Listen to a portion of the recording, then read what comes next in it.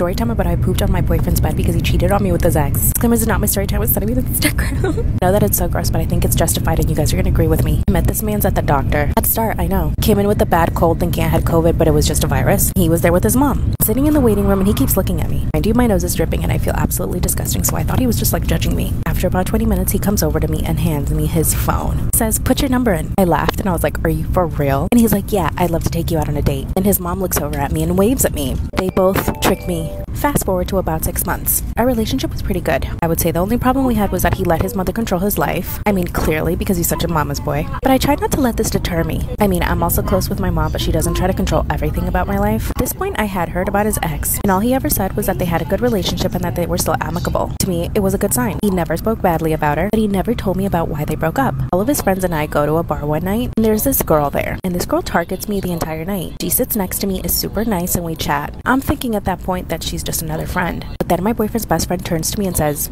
You know that's his ex, right? At that point, I'm like, Oh my god, no way. There's one thing about me that you need to know. I am not a jealous person. I am very, very secure. What I do require is complete respect. I look over at my boyfriend and I'm like, Oh my gosh, you didn't tell me that this was your ex. He just laughs it off like nothing. Then his ex tells me, Oh, we should go get lunch tomorrow. And I, of course, say yes. I mean, I didn't see a reason for me to say no. Following day, I show up to the freaking restaurant only to wait for her for an hour. She's an hour late.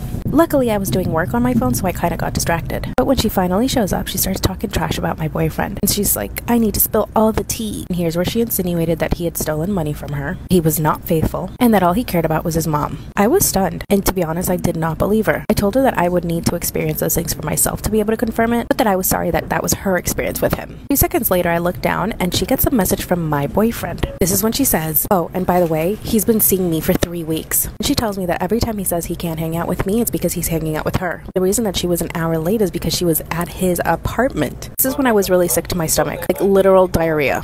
She apologized and started to cry as if she's the victim. And she hands me a key to his apartment and tells me that I should go over there and speak to him. When I show up, he's not there. Start looking around the apartment to find some evidence, and sure enough, I find her disgusting, dirty ass thong in his hamper. Go to the bed, pull off the sheets, and there's a used you know what. And like I said, my stomach was already rumbling. I didn't even think about it twice. Got on top of the bed, pulled my pants down, squatted, and did my business. It was watery and it was everywhere. I cleaned myself off and left the apartment. Two hours later, he calls and tells me you'll never believe what happened. He tells me how he showed up to his apartment and somebody had taken on the bed. So I convinced him that it was probably his ex, that she had told me that they had been having an affair. He swears up and down that she's telling a lie, that all she wants is for us to break up. So here's what I did. I hung up the phone and blocked him on everything. A liar will always be a liar, and a cheater will always be a cheater. Guess what? A few weeks later, they're engaged. Why would he waste my time like that? Soft care sister out.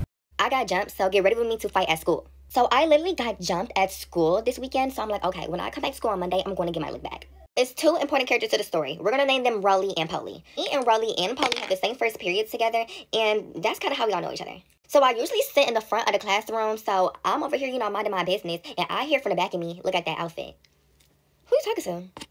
Uh, I know if the shoe fit, don't wear it, but I had a whole pink outfit on. So I'm like, okay, like, I feel like you talk about me because I'm the brightest one in the room. Everybody is wearing like so I didn't respond to it at first, but then I started hearing laughing. So I'm like, okay. So I turn around. I'm like, what's so funny? Because, like, what's going on? Like, huh?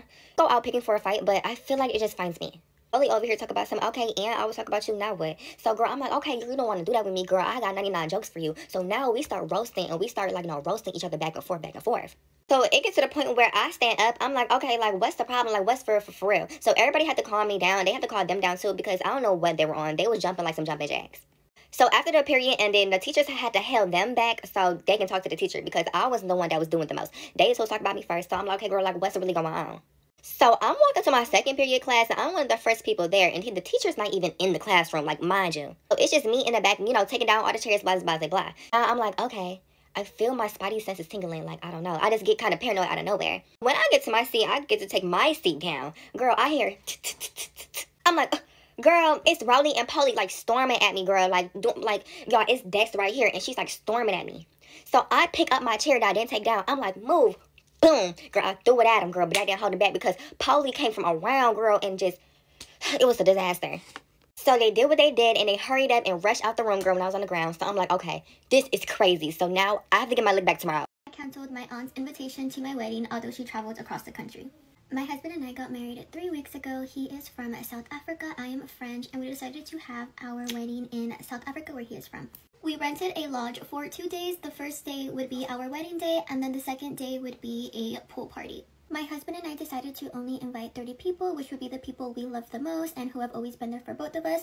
The thing is, I used to be really close to one of my aunts, but eight years ago we did have a huge argument, so we cut ties. While I was doing the invitations, my aunt crossed my mind, and I honestly just remembered how close her and I used to be, so I thought, why not invite her? Let me add her to my guest list. I sent out the invitation to my aunt whenever I finished making them, and I made sure to emphasize that there was no plus one, meaning that she could not bring her husband and neither her kids. And to be fair, I really never met her partner, neither her kids. I am aware that not inviting certain people might trigger other people, but at the end of the day, it isn't my wedding. I feel like people should respect my opinion and my decision, especially because the only people that I wanted at my wedding are people that I actually speak to. My aunt was happy, but she insisted that we invite her husband and her kids, and I told her no. My mom ended up teaming up with her and pressuring me to invite her partner and her kids, although I said no, so I just found it very disrespectful the fact that they couldn't respect my decision. Although I didn't need to, I still explained to my aunt and my mom